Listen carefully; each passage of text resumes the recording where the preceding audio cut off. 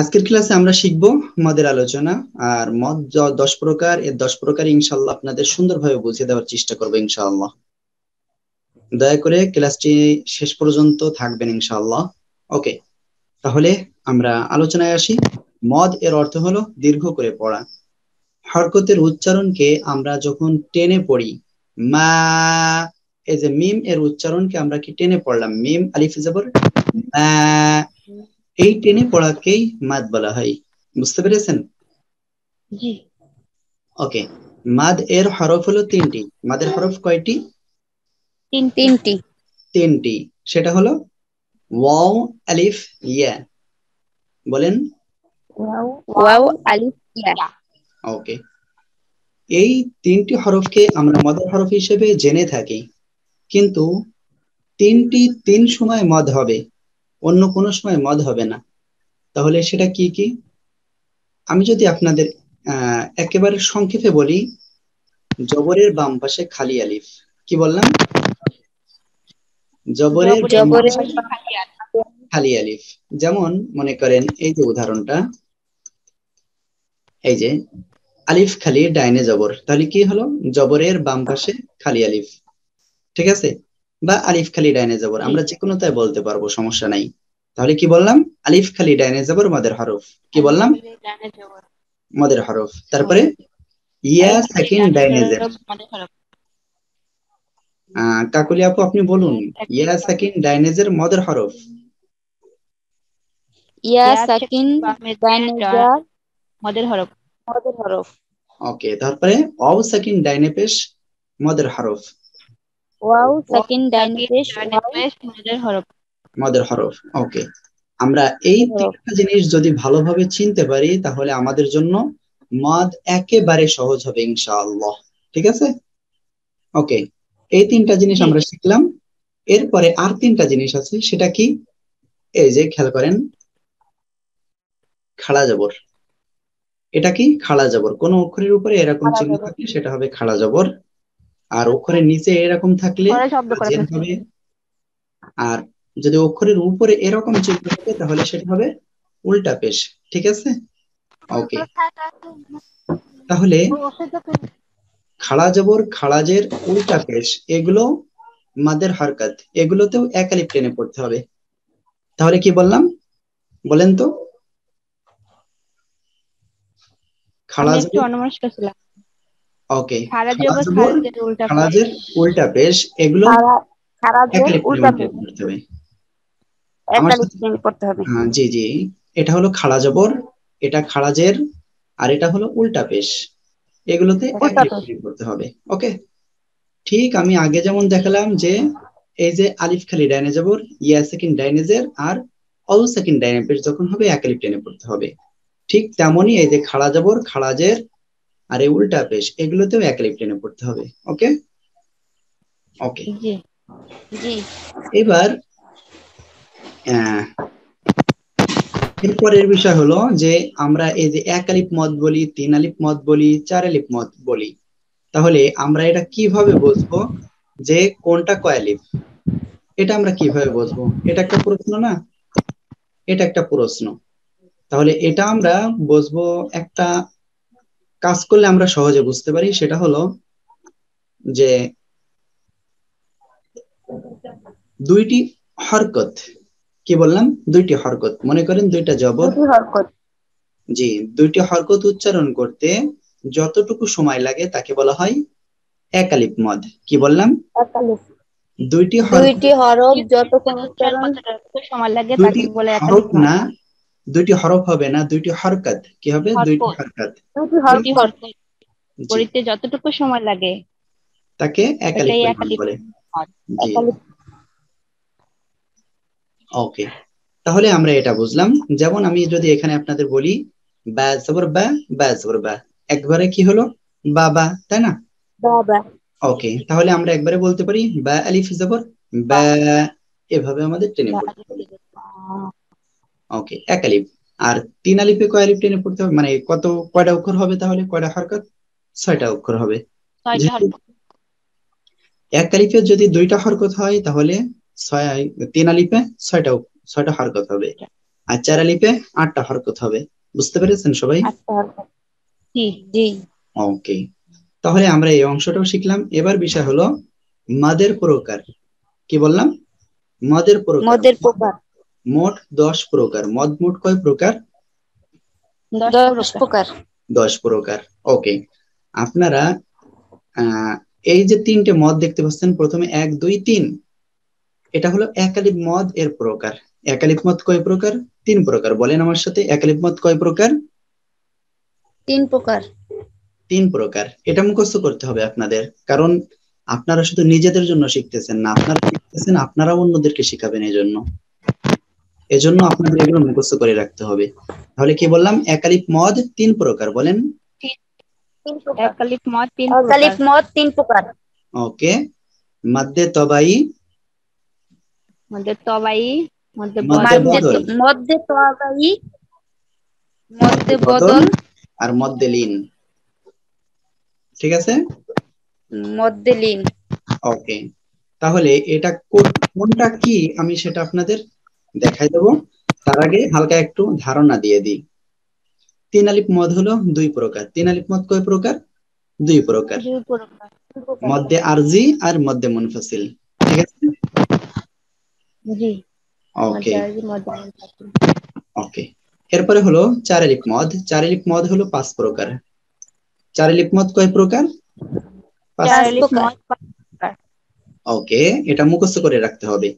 মধ্যে মুত্তাসিল মধ্যে লাজিম কালমি মুসাক্কাল মধ্যে লাজিম কালমি মুখাফফাফ মধ্যে লাজিম হরফি মুসাক্কাল আর মধ্যে লাজিম হরফি মুখাফফাফ ওকে কোনটা কি? আমি বিস্তারিত ইনশাল্লাহ বলে দেবো আজকের এই ভিডিওতে ইনশাল্লাহ আজকের এই ক্লাসেই মনোযোগ সহকারে একটু থাকবেন।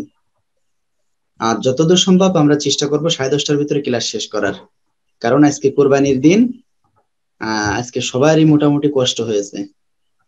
ওকে তাহলে আমি প্রথমে আপনাদের যেটা বলেছিলাম যে আহ, একালিপ মদ তিন প্রকারের। প্রথম প্রকার ছিল মধ্যে তবাই তাই না. তবাই। ওকে মধ্যে তবাইটা হলো আমরা ওই যে মদ দেখেছি। প্রথমে ওই যে হরফ দেখেছি না? মদের হরফ। কয়টি তিনটি মদের হরফ? তিনটি। কি কি বলেন তো? আলিফ ওয়াও ইয়া। আলিফ ও ইয়া। এখন এটা কোন সময় মদ হয়? যখন আলিফ খালি তার ডাইনে জবর হবে ঠিক আছে? এই যে দেখেন। আলিফ খালি ডাইনে জবর অল সাকিন ডাইনে পেশ আর ইয়া সাকিন ডাইনে জের হলে কি হবে? মদের হরফ হবে। তাহলে এটা তো আমরা বুঝেছি আগেই। এখন মাদ্দে তাবাই কখন হবে? যখন সিম্পল জায়গায় সাধারণভাবে আমরা এভাবে পাবো তখন সেটা হবে মধ্যে তাবাই। তখন কি হবে? মধ্যে? তবাই। ওকে এখন আমি যদি আপনাদেরকে কোরআনুল কারিম থেকে আপনাদেরকে দেখাই আহ, তাহলে আমি দেখাতে পারি। ওকে। আপনারা দেখতে পাচ্ছেন খুব সম্ভব। আপনারা কি দেখতে পাচ্ছেন। ওকে। আমি আরও একটু বড় করি বড় করে আপনাদের দেখাই দিই। মনে করেন এই যে আলিফ খালি এর উপরে কিছু আছে আলিফের উপরে কিচ্ছু নাই। আলিফ খালি ডাইনে যাবর এটা হলো মধ্যে তবে এটা কি? মধ্যে হ্যাঁ এক টেনে পড়তে হবে কিন্তু এটা হলো মধ্যে তবাই বুঝতে পেরেছেন? ওকে তারপরে খেয়াল করেন এই জায়গায়। এই জায়গাও আলিফ খালি ডাইনে যাব মধ্যে তবাই ওকে তারপরে দেখেন এই যে এই জায়গাটাই অল সেকেন্ড ডাইনে পেশ এখানেও মধ্যে তবাই হবে। ওকে এরপরে আমি যদি আরও একটু আপনাদের দেখাই এই যে কোথায় গেল? কাজ কম করছে। নেট কানেকশনও ভালো না। এই যে এই জায়গায় খেয়াল করেন ইয়া সেকেন্ড ডাইনেজের মদের হরফ। ইয়া সেকেন্ড ডাইনেজের মদের হরফ ঠিক আছে? এটাও কি মধ্যে তাবাই তাহলে বুঝতে পেরেছেন বিষয়টা? এখানে দেখেন ইয়া সেকেন্ড ডাইনেজের মদের হরফ। তাহলে এটা কি হবে? মধ্যে তাবাই হবে। ওকে? ওকে তাহলে আমরা এত সময় মধ্যে তাবাই শিখলাম। তাহলে ইনশাল্লাহ আমরা যে কোনো জায়গায় মধ্যে তাবাই আসলে বুঝতে পারব ইনশাল্লাহ তাই তো? আমার একটু প্রশ্নের উত্তর দিবেন ঠিক আছে? সাড়া দিবেন। তাই না হলে আমি তো বুঝব না যে আপনারা বুঝতে পারছেন কি পারছেন না। জি বুঝতে পারছি। ওকে তাহলে আমরা যদি এখন কিছু কয়েকটি শব্দ পড়ি আমি এখানে অনেক দিয়েছি। অনেক যদি এখন আপনাদের পড়াতে যাই। অনেক সময় লেগে যাবে। ওকে আমি এখানে কিছু শব্দ দিয়েছি। ওকে আরেকটা জিনিস আপনাদের বলতে ভুলে গেছি।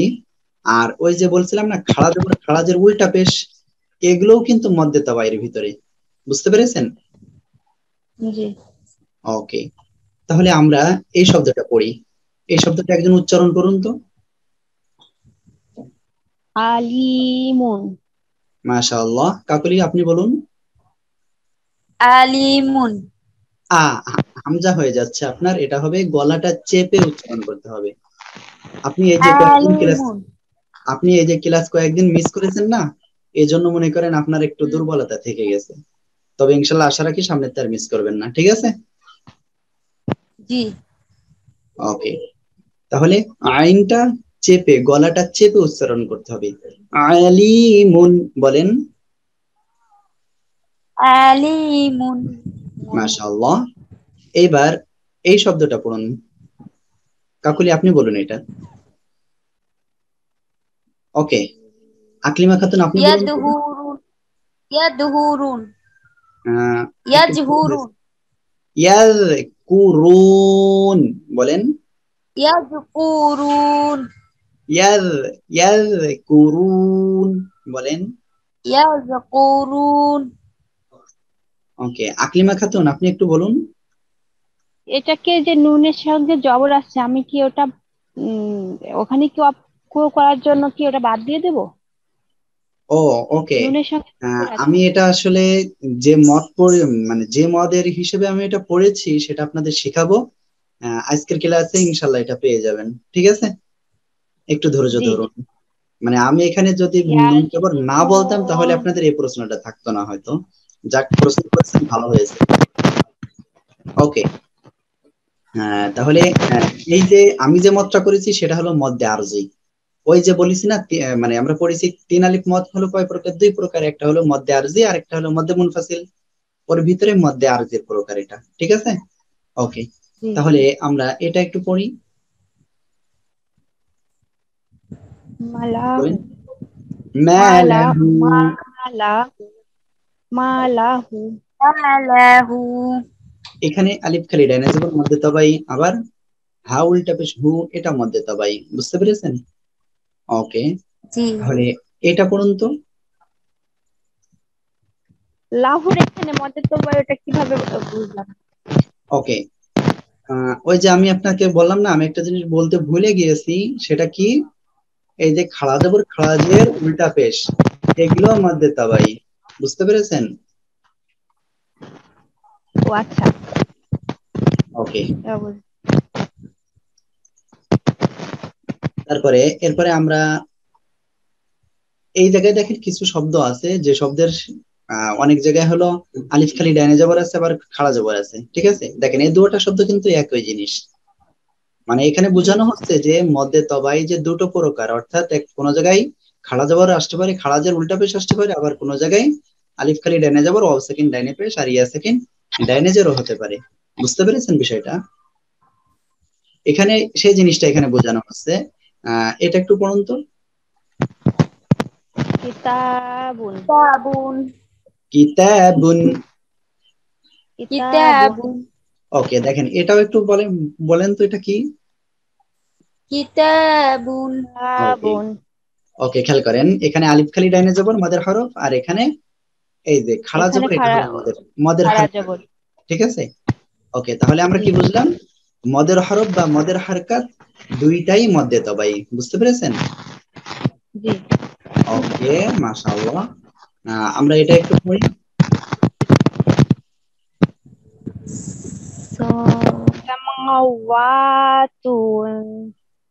কে যেন বললেন? আকলিমা খাতুন বললেন? জি।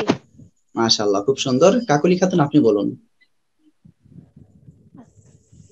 সামাওয়াতুন। সামাওয়াতুন। সামাওয়াতুন। ওকে। তারপরে এটা বলুন। আকলিমা খাতুন আপনি বলুন তো এটা।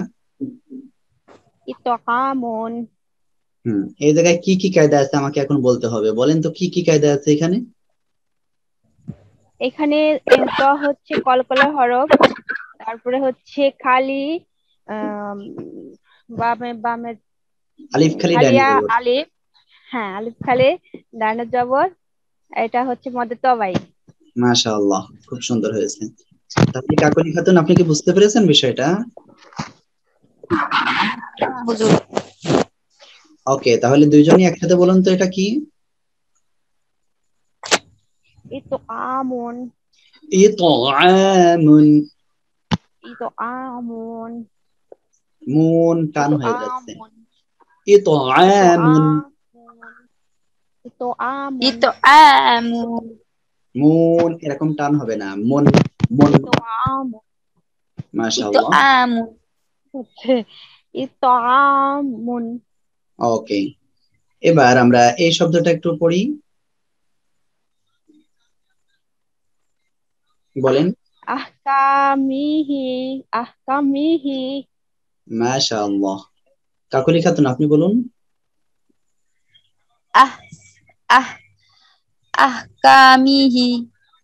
মাশাআল্লাহ। কাকলি খাতুন আপনি এটা বলুন।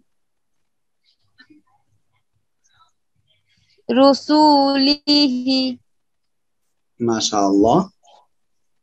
আহ, তাহলে আমরা ইনশাল্লাহ পারব আশা রাখি। আহ, এবার কাকলি খাতুন আপনি এটা বলুন। আদ্দাদা আহ, আদ্দাদাহু মাশাআল্লাহ। আকলিমা খাতুন আপনি কি রাগ করতেছেন যে আপনার কাছে পরপর না বললাম না ঠিক আছে। হ্যাঁ, আপনার সঙ্গে পড়ছি মনে মনে। ঠিক আছে ওইভাবে পড়েন। আর বিষয়টা আমি চাচ্ছি যে আমাদের ক্লাসে যুক্ত হোক সে যাতে খুব সুন্দর করে পড়তে পারে আর অপরকেও শেখাতে পারে ঠিক আছে? আহ, আকলিমা খাতুন আপনি এটা বলুন। হ্যাঁ আপনি একটু জোরে জোরে বলুন আপনার আওয়াজটা আমার পর্যন্ত আসছে নুখলিফুহু নুখলিফুহু নুখলিফুহু মাশাআল্লাহ তাহলে আমরা এটা বুঝলাম ঠিক আছে? ওকে এইবার আমরা শিখব মধ্যে বদল সম্পর্কে ইনশাআল্লাহ। ঠিক আছে?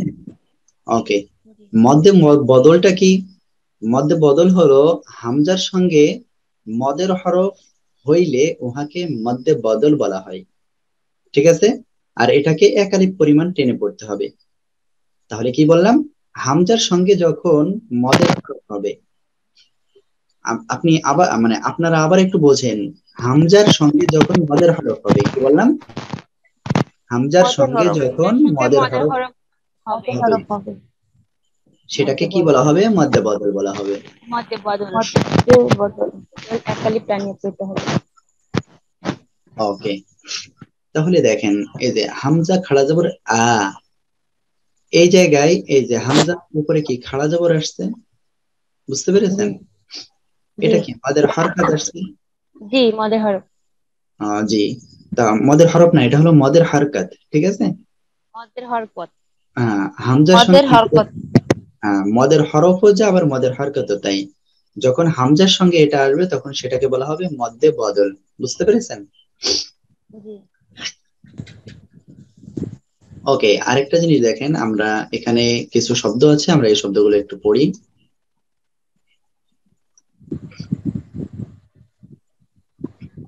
জি আহ, এটা বলেন তো।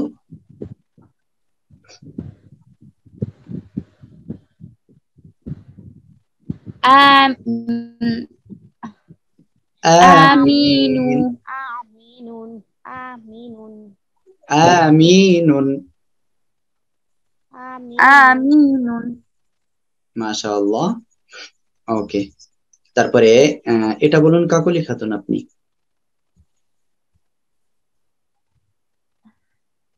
বলেন ইয়া ইয়া এটা কি অক্ষর বলেন এটা কি অক্ষর? লাম লাম। জি জি লাম খাড়া যাব লা। ইলাফি ইলা ইলাফি ওকে। আকলিমা খাতুন আপনি এটা বলুন। উতিয়া। উতিয়া। জি মাশাআল্লাহ। ওকে এটা বলুন। ইমা ইমানান ইমানান মাশাআল্লাহ খুব সুন্দর হয়েছে। আহ, এটা বলুন তো দুইজনই একসাথে বলুন। উমি উমিনা। ও মিনা উমিনা। এটা বলুন। আমানা। মানা মাশাআল্লাহ ওকে। এবার আমরা শিখব মদ্দেলিন এবার কি শিখব ইনশাআল্লাহ? মদ্দেলিন সম্পর্কে। ওকে খেয়াল করেন মধ্যে লিন আমাদের দুইটা হরফ রয়েছে। লিনের হরফ কয়টি? দুইটি। কি কি জানা আছে? ওকে দুইটা অক্ষর হলো ওয়াও আর ইয়া। যখন ওয়াও এবং ইয়া সাকিন অবস্থায় হবে আর তার ডাইনে জবর হবে। তাহলে কি বলেছি? ওয়াও সাকিন ডাইনে জবর ইয়া সাকিন ডাইনে জবর। জবর। জি জি। তাহলে মোট কথা হলো ওয়াও এবং ইয়া সাকিন অবস্থায় যদি তার ডাইনে জবর আসে তাহলে সেটা হবে মধ্যে লিন বুঝতে পেরেছেন? ওকে। আর লিনের হরফ সর্বদা তাড়াতাড়ি পড়তে হবে। কীভাবে পড়তে হবে? তাড়াতাড়ি পড়তে হবে নরম করিয়া। ঠিক আছে? ওকে। এখন আমরা যদি কিছু উদাহরণ পড়ি তাহলে কীভাবে পড়ব? জিম ওয়াও জবর। বলেন। যাও যাও। জবর যাও। যাও। যাও। ওকে এটা বলুন। জিম ইয়া জবর ইয়া যা ইয়া যাই যাই যাই যাই ওকে বিষয়টা ওকে তারপরে আহ, এটা বলুন তো। যা ইয়া জবর ইয়া যাও। জবর যাই আহ, ঝা ইয়া জবর যাই মাশাআল্লাহ এটা বলুন যাও ওয়াও যাও। জবর যাও যাও জবর যাও ওকে তাহলে আমরা এটা মধ্যে লিন বা লিনের হরফ আমরা চিনে ফেলেছি সেটা কি? ওয়াও বা ইয়া যখন সাকিন অবস্থায় হবে তার ডাইনে জবর হইলে লিনের হরফ হবে ঠিক আছে? জি জি ওকে। তাহলে এখন কথা হলো তাহলে লিনের আহ, মধ্যে লিনে আমরা একাধিক টানবো তাহলে কোন সময় টানবো তাই না? একটা কথা না যে আমরা আমরা পড়তেছি যে একালিপ মদ। আমরা পড়তেছি কি? একালিপ মদ না? একালিপ মদের তিনটি প্রকারের। একটি প্রকার হলো মধ্যে লিন তাহলে আমরা লিনের তো সাধারণত পাইলে আমরা তাড়াতাড়ি পড়ব তুলে ফেলেছি। এটা পড়েছি না?